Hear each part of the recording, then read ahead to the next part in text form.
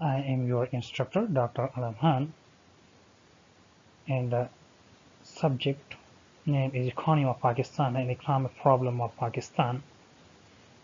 In today's lecture, we will discuss the debt management of Pakistan.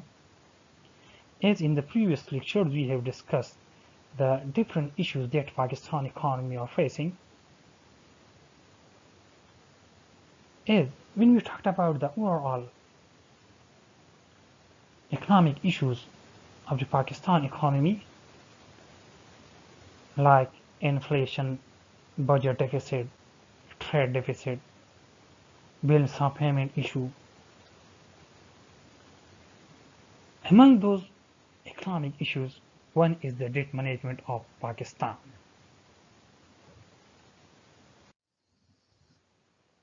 Before going into the details of this particular lecture, is the outline of this lecture. That will discuss public debt, types of the public debt, trends in public debt, dynamics of public debt burden, components of domestic debt, composition of external debt, consequences of the poor debt management, and in then we will conclude our lecture. There are certain concepts that is related with the debt. Among those concepts, one is the public debt. By public debt we mean government debt.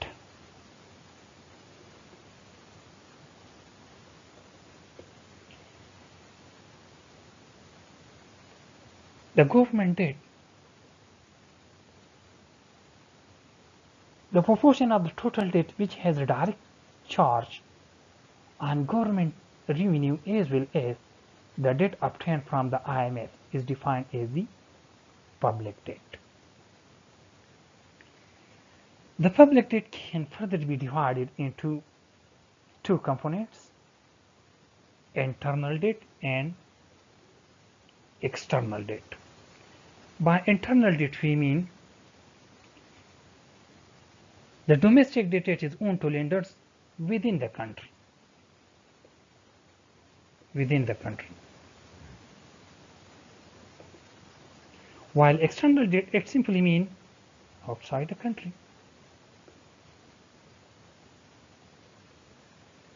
It is on to foreign lenders. Another common division of the public debt is by duration until repayment is due. And on the basis of the duration, it may be short-term debt or long-term debt. By short-term debt, we mean the debt will be considered a short-term if its duration is up to one or less than one year.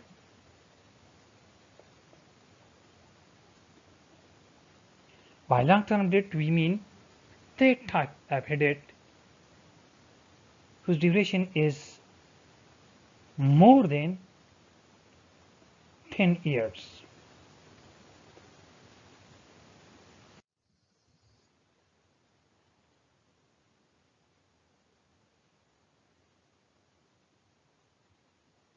In the introduction part of this particular lecture,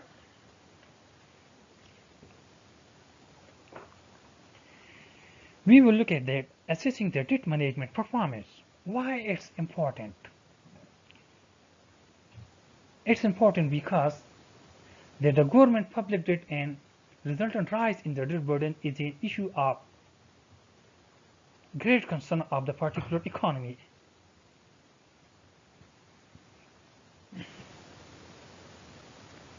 What, what is debt management? Is the debt management is bad thing or good thing?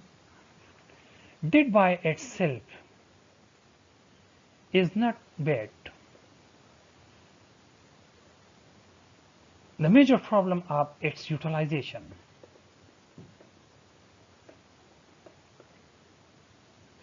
if the same debt is used in some productive resources, it will generate more and more income in the future and that will bring more prosperity. But if the same debt that can be used for the non-development expenditure, then it will be an issue. So the analysis and management of a country's debt portfolio are critical not only for maintaining macroeconomic stability, they also mobilize long-term resources for the country's development and help out the building blocks for a domestic money market.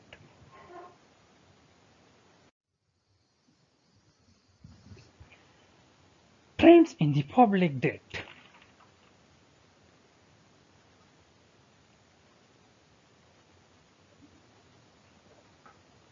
This particular table explains the overall debt of the Pakistan economy from the 1970s to 2015. This table concluded that public debt was recorded at R is 16,936 billion, which is almost 61.8% of the GDP at the end March 2015. If you look at the 2015 figure, it is around about 16,936.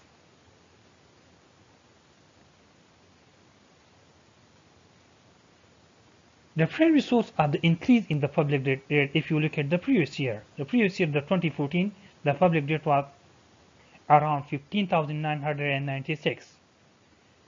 So the primary source of the increase in the public debt was in domestic debt, debt position at RS 11,932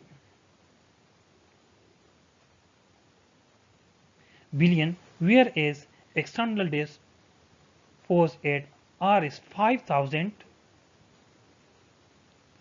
and 4 billion rupees. Overall, the external debt declined. If you look at the previous year in 2014, the public debt was 5076 billion rupees, while in the 2015 it is decreased from 5776 to 5004.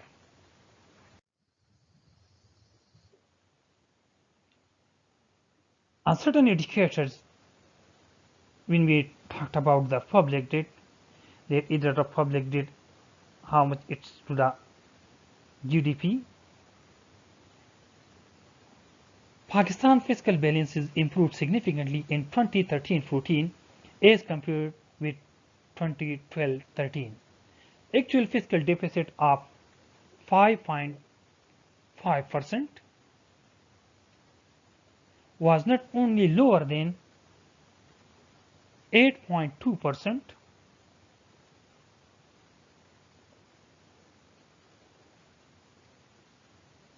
last year but also lower than its budgeted targeted of 6.6 percent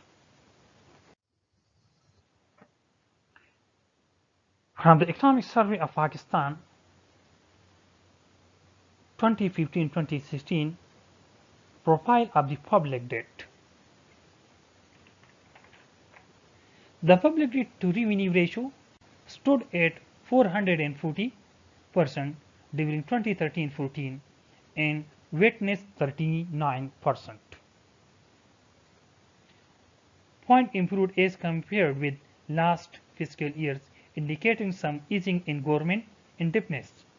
Government is committed to reduce this ratio by 350 percent by increasing its revenue. If you look at the overall trend of the profile of the public debt, the overall trend shows that overall the public debt has been increased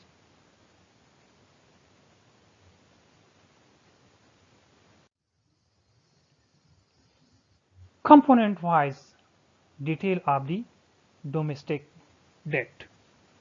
Domestic debt increased by Rs 1012 billion during first month of current fiscal and recorded at Rs 11,932 billion at end March 2015.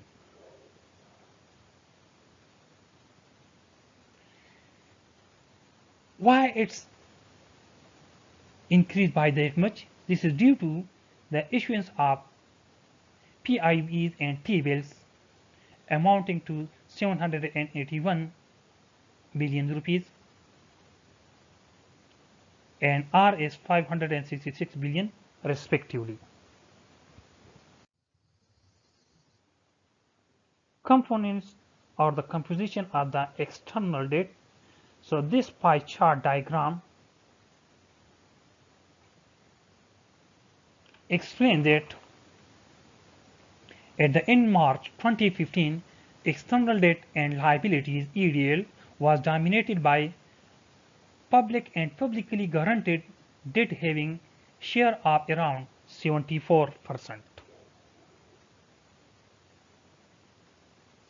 So the major proportion in the external debt are occupied by the public and publicly guaranteed debt, while the rest proportion is a private sector debt, public sector enterprises, IMF, and banks, etc.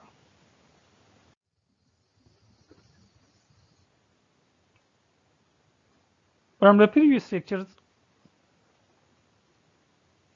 we conclude that overall the debt burden of the Pakistan economy from historic perspective has increased.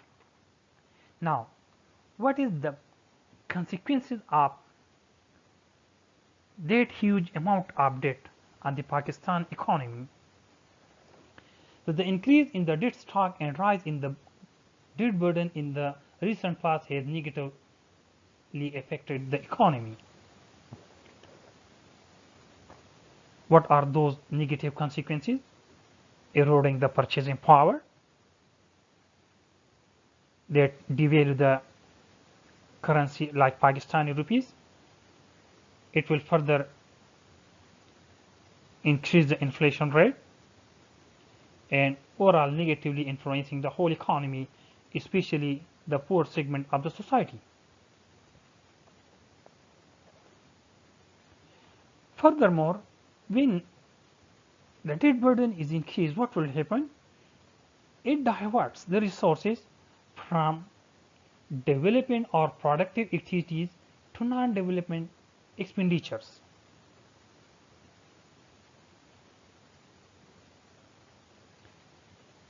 Economic growth also being affected, insufficient investment, increasing waste and corruption, funds not being allocated on high economic and social return projects.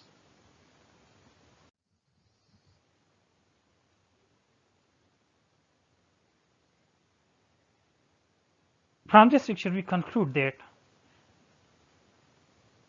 an a domestic front, within the boundary of the pa Pakistan economy,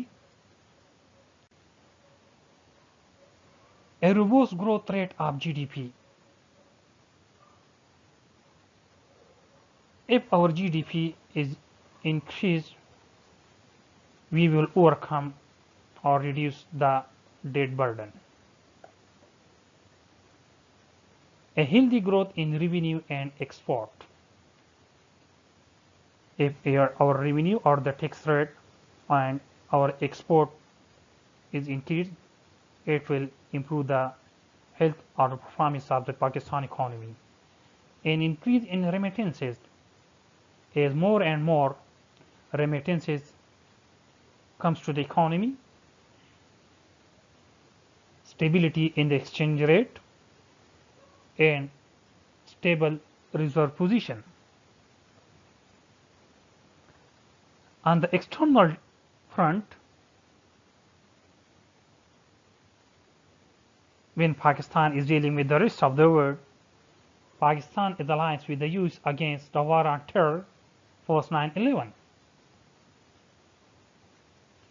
So they have the bilateral ties with the US reprofiling of Paris Club bilateral debt on a long-term horizon the prepayment of the expensive debt and the relative shift in contracting new loans. So on the external debt, what the Pakistan or the Pakistan authorities should do, they should bargain with the donors like IMF, the Friends of Pakistan, to provide the loan aid loan is a soft loan not as a hard loan like more and more interest we are not in a position to repay that. And also the Pakistan high ups should more focus to generate more and more revenue at a domestic front, front instead of rely on external debt. This was all about this particular lecture. For further understanding of this particular topic, these are the references. Economic Survey of Pakistan 2015-16 which is available on this link. The student can also look at the book written by S. Akbar Zaidi and the title of the book is Issues in Pakistan Economy also the students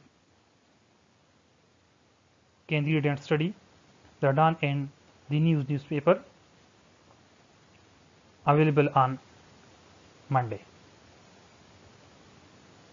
Thank you so much.